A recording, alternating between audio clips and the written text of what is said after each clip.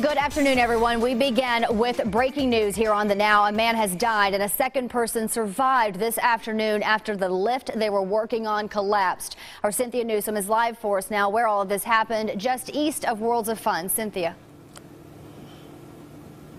Yeah, we understand from firefighters that uh, the name of the uh, person who died here, we don't have his name yet.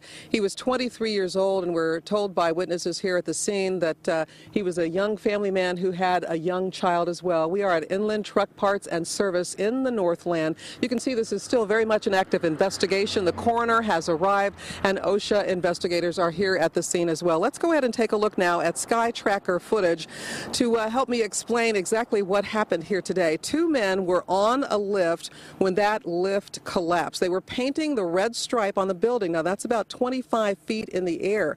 They were on what's called a scissor lift. When the lift collapsed, one painter managed to hang on. He survived. The 23 year old painter fell on the windshield of the truck, and the scaffolding fell on top of him, killing him we heard this boom, blam noise, and I thought, thought it was one of the cars wrecking, and we came up here and we seen that thing turned over right there and said it's an accident.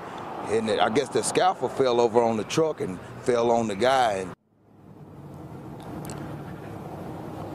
Now, it was slightly windy at the time, but we do not know if wind is what caused that lift to collapse. Again, those OSHA investigators are here. They are interviewing witnesses and looking at the evidence, and they'll file their full report as to what caused this deadly accident here today in the Northland.